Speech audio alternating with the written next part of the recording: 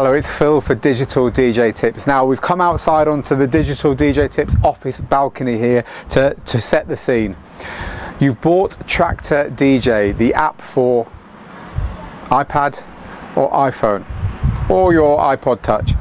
You've bought Traktor DJ and you're not a DJ, but you're maybe going on holiday or you're maybe going to go to someone's barbecue, someone's pool party, and you want to take Traktor DJ with you. You want to take it and you want to make sure that the old, everyone kind of like bringing their their own iPods and their own MP3 players and trying to plug them into the stereo, and big gaps between the music and all that stuff, all that stuff's history. You want to turn up with your mobile device and with your new copy of Traktor DJ and you want to do it.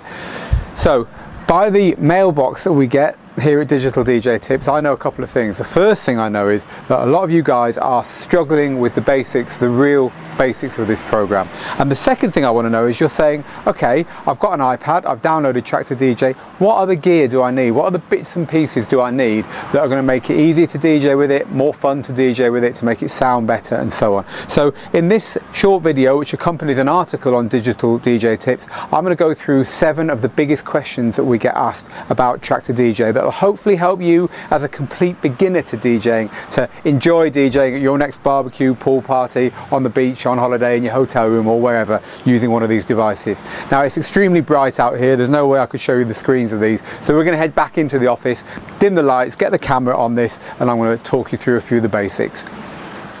So here we are back in the studio, back to work, but I can show you better here the screens on these things because they're very hard to see in the sunshine. As I'm sure you know if you've ever tried to look at some photos on your iPhone when you're sat in the sun. So the first big question about Traktor DJ is how do I get my music into it? So Traktor doesn't have its own library and the confusion here is often that you will read in its built-in um, notification help center, you'll read them talking about Dropbox sync. So people think, oh, what? Well, that's great. I can put my music in Dropbox and then I don't have to worry about iTunes and stuff. That's not how it works. Forget about the Dropbox sync completely when it comes to your actual music. The music that this plays is from iTunes. So you need to sync this up to your main computer and get music onto it from iTunes and the way you always have done and the way you always do with that or with the iPhone. And the other way of doing it, of course, is if you are an Apple person and you have uh, you have iTunes Match, which is the iTunes service that lets you have the same music on all your computers, like cloud music. That will work, but you must have them downloaded onto your device. And also stuff that you buy on your device. So if you're buying music with the music app on here, that's going to appear there as well. But when you go into the library on this, you're only seeing the music that Apple has got in its authorized music library. So that's how you get music into it. So that's the, the answer to that question. So the next question is, um, this is quite a long one actually, um, but it's also one of the biggest confusions about this software. So the, the question gets asked in all these kind of ways and the answer is exactly the same. Uh, why is my music too fast? I mix one record into another and it's too fast. The, the one that I'm mixing in is way, way, way too fast. Why does that happen? Or, um, of course, why is it too slow? Why is it not the speed it should be? Um, and the question comes up in another way and that way is when I press um, play to start my new tune playing, why doesn't it play straight away? Why does it sometimes wait a second or two? And, and, and it seems completely unpredictable. Um, I just wanted to start playing. Now, all of these questions relate back to the same thing. Traktor DJ is a streamlined, easy way of replicating what DJs on full-size equipment do manually. And not just all DJs, but electronic DJs who are beat matching properly, which means playing tunes at the same tempo and making sure the beats don't clash and making sure they all line up and making sure it sounds very smooth. You know the kind of DJing I'm talking about. Now Traktor DJ does a few things on your behalf to make that easy to do on the small screen of one of these or even on the smaller screen of one of those. And also, frankly, when you either haven't got the skills or can't be bothered doing it, you know, you're just at a party or a barbecue or something, you don't want to be doing all this manual beat matching stuff. So Traktor tries to do a lot of it for you. And it does that by syncing the beats and then trying to decide what the first beat is of the bar. Now a bar of music, don't get confused by any of this, a bar of music is really, really simple. A bar of music is, if you're dancing to a tune, if you started counting, you'd go one, two, three, four, one, two, three, four. And that one, that loud one, it's always going to be where something big happens in the tune. That is the first beat of your bar. And Traktor will try and line those up for you. Now that's great. But what if you don't want that? What if you're playing at a party where you're playing hip hop, house, pop, trap, um, country and western. I'm just trying to name every kind of music that's coming into my head here. You know, you're playing at a party where you're out, you're expected to play a bit of everything, where you want to play a bit of everything. You don't want to DJ in that kind of way, you know, you just want to play tunes and cut the gaps out if you like, do a better version of keeping the music going at the party. How do you do that with Traktor DJ? And also, if you are finding the results aren't sounding how you want them to and you're not musically minded enough and you're not DJ minded enough to understand why, again, you might just want to turn that off, stop that happening. You want to get a tune onto one of your virtual decks and then hit play and it just plays at the speed that it was intended to be played at and so on. And then you're just probably blending smoothly between them using the crossfader. The crossfader of course is this little knob here. You're just moving slowly between them and then just as soon as you've mixed one out you get another tune on the other deck and so on. So you just DJ in the old way you know the way that mobile guys still do it the way the radio does it. There's an easy way to do it and that is on the tune you want to mix in turn off this sync button like that. Now the tune's BPM reading in the top corner here will return to the BPM that it should have been i.e. that it was recorded at and when you hit the play button it will just play. So what does this mean? Why does Traktor do this stuff? And, and, are we missing a trick by just turning it off? Well, we kind of are. And you want to look into beat gridding. Now, there is information in here about beat gridding, and it's what these lines here are. These lines are Traktor's guess where that one, two, three, four happens in your tunes. And more often than not, by hitting a little button on here and by moving them slightly on the waveform, you can correct the errors that sound bad when you have got those sync buttons switched on. But that's beyond this tutorial. This tutorial is to try and just get you going on it. So if you're having any problems at all, especially if you, you know, you're not using headphones, headphones are quite important sometimes for getting beat matches right and so on. You just want to play music using the app, just switch the sync off. Okay, so the next uh, question is about AirPlay and about Bluetooth. So lots of people have been saying, hey, you know, I've been going into my settings on here and I've been setting it to play through my Bluetooth speaker or through my AirPlay speaker and there's, it's just like I can't mix. It's not they're not lining the beats aren't lining up. It doesn't sound right. Uh, why is that? Well, that is a limitation of the of the Apple system, of the Apple software and of Bluetooth. It's not a limitation of Traktor DJ.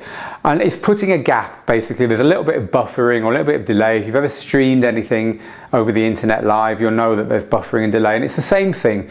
So the solution to that is to use a wired speaker. Now, of course, you're heading off on holiday, you haven't got room to take your big speakers with you, but this kind of speaker, this is by a company called Minirig, um, this kind of speaker, there's lots and lots of copies of this and lots and lots of speakers that are similar, uh, is absolutely awesome. It, is, it recharges by USB, so no need for any batteries in the instance of this one, uh, but they just have a little socket and they're provided with a tiny little lead, like one of these, charging lead in there as well, but this is the, uh, this is the lead that does all the action for you. So just a tiny little lead like this, and you plug one end into your speaker and one into your iOS device. And all of a sudden this thing is going to pump out really nice volume for you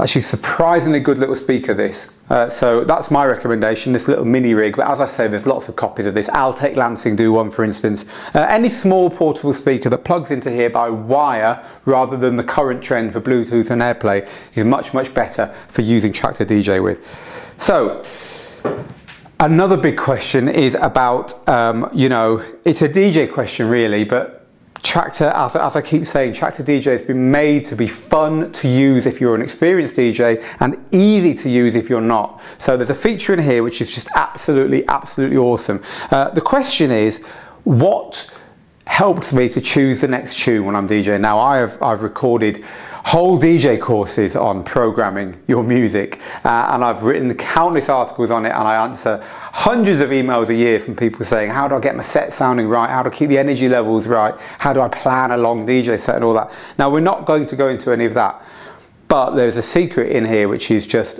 incredible. It's so good that when I'm DJing now on my big DJ setup with my normal DJ software, I actually miss the software that's built into these two. And what that is, is a recommendation engine. Now the recommendation engine allows you to choose from a set of pre-chosen tracks that Traktor thinks are going to mix really nicely with the one that's currently playing.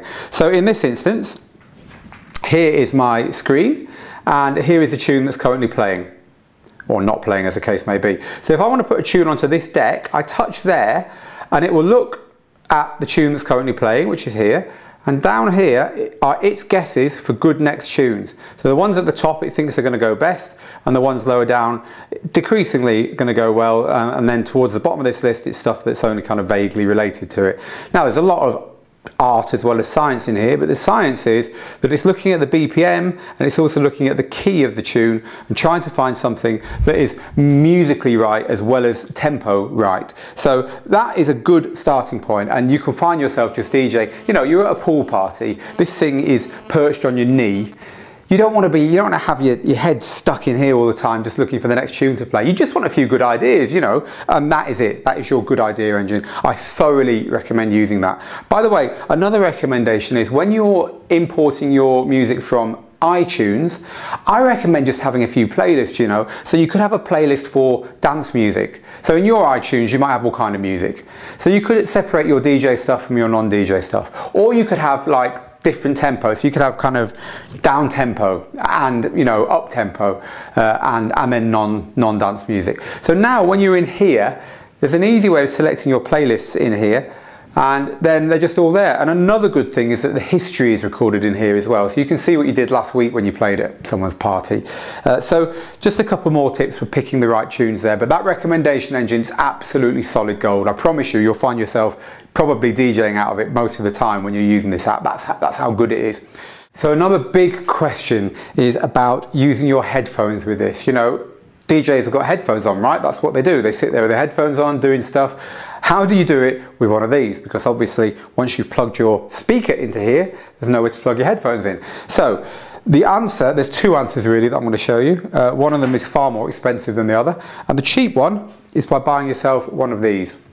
This is a DJ splitter cable or a mono splitter cable. Now a word of warning here, you need a mono splitter cable or ideally one that is specifically called a DJ splitter cable. I won't go into why but just trust me. Now the one I've got here is by a company called Griffin and it just works. So if you, if you can find this one, you can get these from about $5 upwards. This one I think was $15 or something like that. So what you do with it is take your iDevice and you plug your cable in there and now we have two outputs. Into one of these we can plug our headphones which will give you, there we go, it's my headphones plugged in to there. So now I can hear what I need to hear on there and then to the other one we plug our speaker, speaker that you saw earlier. There we go. So this setup now is all you need to do headphone monitoring and to listen on your speaker. Now, all you need to know to get that work is to go into get that working is to go into the settings and select the split cue or the headphones uh, splitter option because otherwise it won't work properly.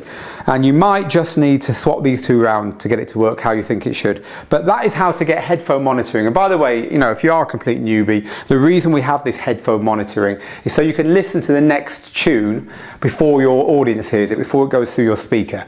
And that just gives you the chance to make sure it's right to make sure you're going to start at the right point and when you move your crossfader across to the next tune and then hit play, everyone else can hear it, but you heard it first to get it all right.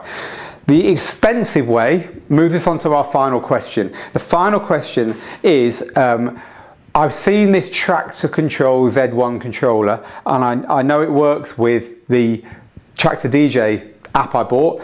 Um, you know, I'm loving this. I'm loving Traktor DJ. Is it worth buying that? Well, here it is. This is the Traktor Control Z1 or Z1 for our American friends. It is a professionally built device from Native Instruments, built to the same standard as all of its digital DJ gear, that's to say a high standard, and it's designed to take some of the controls off what is often a very, very tiny screen and put them right into your hands. So you get a crossfader like a normal DJ would use to quickly flick between the two channels. You get volume control on your two channels. You've got these are filters, so this is a, a, classic DJ effect which you will find yourself using and abusing, I promise you, if you buy one of these. They are in the app as well, but they're easier to use here. And then you've got bass, middle and treble. Again, this is all in the app, it just frees it up. And the gain control is just a, an extra volume control to get everything balanced before you start doing your actual mixing. A few other stuff as well, headphones, volumes and so on, and a few extra effects, bits and pieces on here. But basically, this unit plugs into your iDevice using a special lead that they provide. And this is the lead. So you plug one end into here, like this. The other end goes into your iDevice, so let's just use the iPhone. Oh, in fact, let's use the iPad. This is something you need to know actually. It's a 30 pin they provide, so if you've got a newer iDevice, you're going to have to buy an adapter uh, or just try and find a lead that's similar with a, with a lightning conduct, uh, conductor connector on it. So uh, there we go, that plugs in there like that. And you put the whole lot down and then the final thing you need to do is plug some mains electricity into the back of here. And the reason for that is that this thing now will charge this. So you've now got an extra benefit that this is meaning this is going to go on forever. You're never going to run out of battery. And the, the, the, third benefit, if you like, is there is no need for this cable, which is of course why we started talking about it. And the reason for that is that this has got its own headphone socket here, and around the back it's got its own audio outs. Although these are twin RCA outs, they're not the same as the little headphone socket on most tiny equipment like we've been looking at. That's okay, just means you need to buy a twin RCA to what's called mini jack lead, and this is a mini jack lead, it's just the same as you see on all headphones. So you want a twin RCA to mini jack lead, and that's it. That's your little system, that's your little setup. You've now got, it sounds better than when you plug one of those in. To start with, your headphones are in full stereo and your main speakers are in full stereo, should you have stereo speakers, of course. That one, that's mono anyway, so you would never notice. But um, to start with, it's going to sound better. It's going to be louder. You could actually play in a nightclub using this uh, and using the iPad. It's, I mean, it's that good. So if you're serious about it, if you've got the bug DJing with Traktor DJ, then I recommend going for that. It, you know, it's like 220, I think, or 250 dollars. It's a lot of money, but the good news is that it also works with big Traktor with Traktor Pro on a computer. So if you really, really get the bug and you decide that you want to take the plunge and get a full DJ setup, then this thing is still going to work with it and you don't have to just toss it by the wayside. So armed with all that information, you're now in a great position to have a great pool party, to enjoy your next barbecue party, to enjoy your holiday, to rock your hotel room, wherever you're going to be using Traktor DJ. It is a great little program. I hope you have fun with it. And if you are watching this six months after I've recorded it, the middle of December, or you're in Australia where it's already winter, hey, it doesn't need to be sunny to enjoy your music. Enjoy it wherever you are. And thank you for watching. We'll see you next time.